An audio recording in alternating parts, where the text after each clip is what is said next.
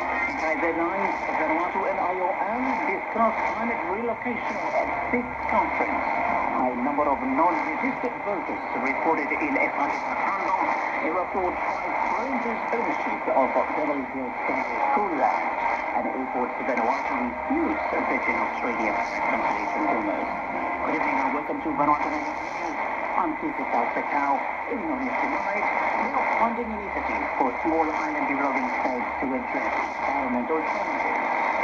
Vanuatu, along with 14 other small island developing states, is now access funds from a new $135 million